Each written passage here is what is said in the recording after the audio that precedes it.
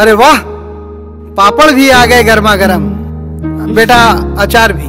बहू तुम भी बैठ जाओ खाना शुरू करते हैं। मम्मी मुझे अभी भूख नहीं है मैं बाद में खा लूँगी। भूख नहीं है का क्या मतलब है? बैठो। रोज तो तुम साथ ही खाती हो आज क्या हो गया तुम्हें? हाँ? और तुम्हारे बगैर हम लोगों के हलक से खाना उतरेगा क्या? अब बैठ भी जाओ। पापा बहू नहीं हूँ मैं आपकी। बहू नहीं हूँ बेटी हो पता है। चलो बैठ जाओ। बैठो बैठो।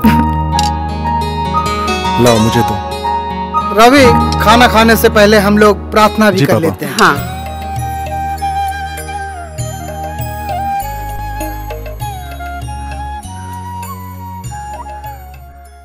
शुरू करते हैं। जी। आपको सब्ज़ी और दूँ? नहीं थोड़ी सी और। एक ही आलू डाला है तुमने।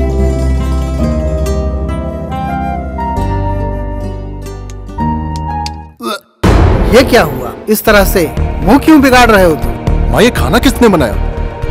सोनी ने रोज सोनी बनाती है आज भी उसी ने बनाया। क्या हुआ? ये ये क्या कोई खाना है? इस खाने को जानवर तक ना खाए इंसान कैसे खाएगा? क्या हुआ क्या? मैं देखता हूँ। दाल में हल्का सा नमक ज़्यादा है और क्या? जरा सा नहीं है पापा पूरा का पूरा पैकेट इसमें डाल रखा है। ये क्या? अरे समझाओ इसे। कर दिया ना इसने। बहू का मूड खराब और खाने का माहौल भी। इस तरीके से खाने के टेबल पे बात करते हैं क्या? कितनी बार समझाया है। नाराज़ कर दिया ना? रवि तुम भी ना? इस तरह से डाइनिंग टेबल पे बिहेव नहीं करते रवि कितनी बार कहा हूँ मैं? खाने का पूरा माहौल ही बिल्कुल खत्म कर देते हो तुम। क्या खाना है बेटा इंसान से कभी कभी भूल हो जाती है। ऐसी भूल? अगर ये गलती मुझसे हुई होती तो क्या तुम मुझे भी इसी तरह से डांट देते? हाँ?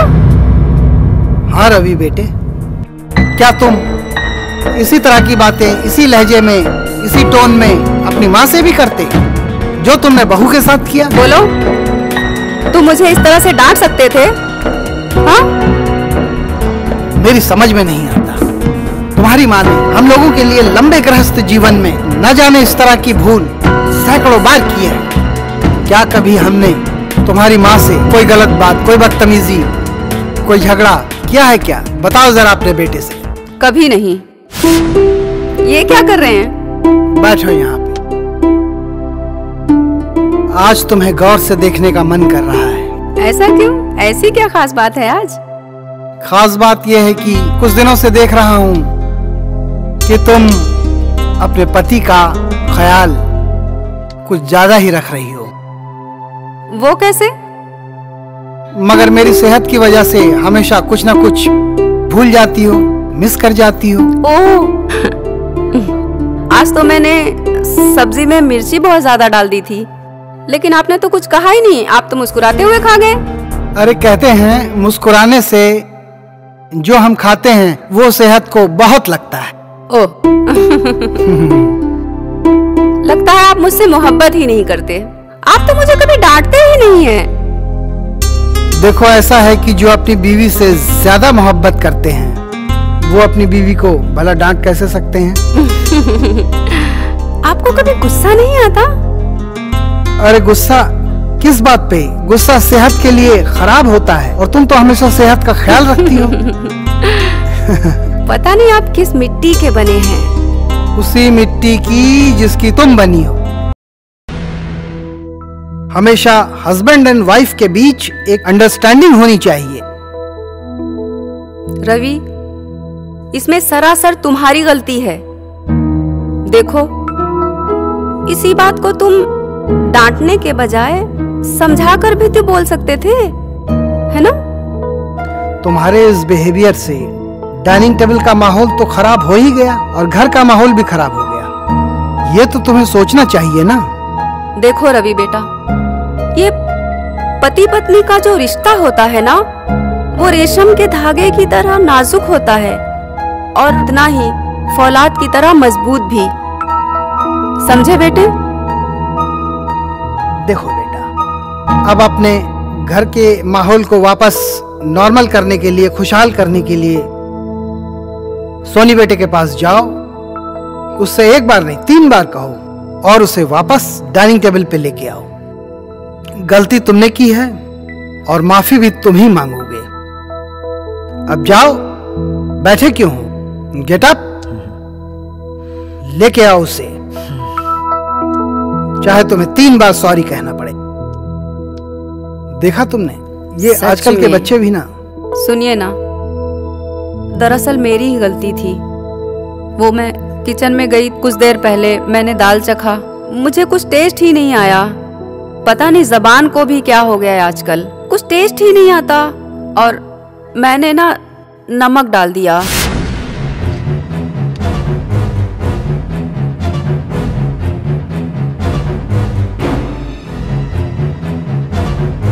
हम्म, सोनी नमक डालना ही भूल गई। थोड़ा ठीक हुआ। थोड़ा सा और डाल देती हूँ। देखिए ना मेरी गलती की वजह से बहू को डांट पड़ गई। मम्मी पापा इंतज़ार कर रहे हैं। चलो अब खा लें।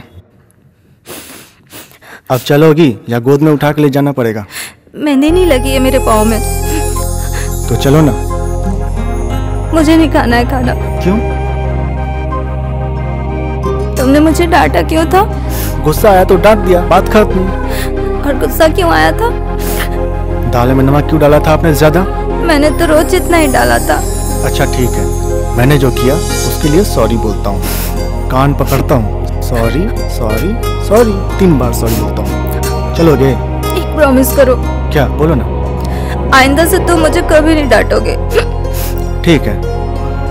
मैं प्रॉमिस करता हूँ आज के बाद से कभी नहीं डांटूँगा। चलो अब। चलो आ जाओ। चलो भी। हम्म, हम्म। चलो चलो।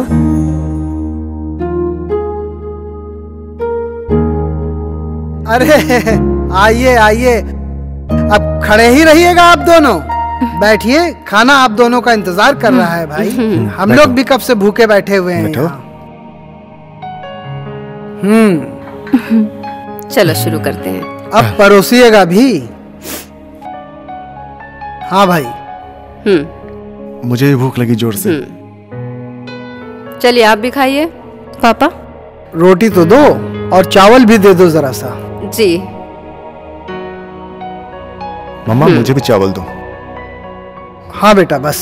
थोड़ा चावल देना ज़्यादा नहीं। और दूँ? नहीं नहीं बस। वाह। वाह आज के खाना खाकर मज़ा आ गया। क्या खाना बना है? सुनती हो शकुंतला देवी हमारी बहू है ना जो ये सोनी? लाखों में एक और हमारा बेटा भी तो लाखों में एक है। वो क्या किसी से कम है? सही कहा तुमने। भगवान न करे हमारे इस हँसते खेलते परिवार को किसी की नज़र लग जाए। हे भगवान जब तक मैं ज़िंदा रहूँ मेरे परिवार को इसी तरह हंसता मुस्कुराता देखता रहूँ। जी। ठीक कहा ना मैंने? हम्म, अ, तुम्हारी लिस्ट बन गई? जी बस बन गई। अरे थैंक यू बेटा। थैंक यू लीजिए। तुम भी बैठ जाओ बेटा। जी। कुछ बात करनी है। बेटा अगर तुम्हारे ऑफ़िस का काम हो चुका है तो मैं कुछ कहना चाह रहा हूँ। जी पापा जी बोलिए ना। बोलिए। देखो बेटा आज जो कुछ भी हुआ हमारे घर में वो एक तरह से बहुत अच्छा हुआ। आज मैं तुम दोनों के ज़रिए आने वाले यंग जनरेशन से हर बेटे और बहू से ये कहना चाह रहा हूँ कि अपने बूढ़े होते हुए माँ बाप के भावनाओं को भी समझो। जब वो बच्चे थे तो माँ बाप बहुत ही प्यार से, लाड़ से उनकी हर जिद को पूरा करते थे। उन्हें बड़ा किया, पढ़ाया, लिखाया, इस काबिल बनाया कि वो अपने पैरों पे खड़े हो सके। और जब वो खड़े हो गए, मज़बूत हो गए, और उसके माँ बाप दिन ब दिन बढ़ती उम्र की वजह से कमज़ोर होते गए वीक होते जा रहे हैं। है ना? हम्म, हम्म, जी। धीरे धीरे सभी बॉडी के सारे पार्ट्स वीक होने लगते हैं। हमारे सुनने की शक्ति कम होने लगती है। हमारी जबान का टेस्ट चला जाता है। धीरे धीरे हम बिल्कुल बच्चे के जैसे करने लगते हैं। हमारी याददाश्त कम होने लगती है। ऐसे में बच्चों को चाहिए कि वो अपने माँ बाप को बच्चों की तरह देखभाल करे जैसे हमने कभी उनकी देखभाल की थी।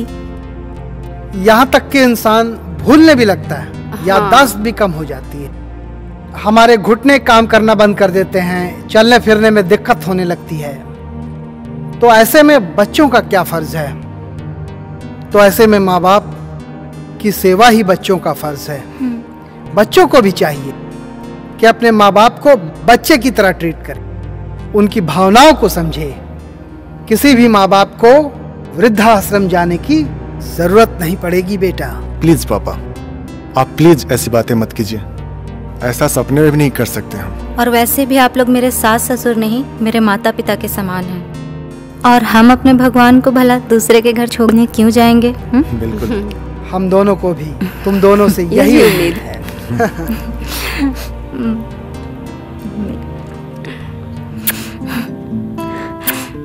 बस ऐसा ही हो। हमारी यही मैसेज है, हर बच्चों तक जाए, हर बच्चे अपनी माँ बाप की सेवा भगवान की तरह करे। यही मकसद है हमारा।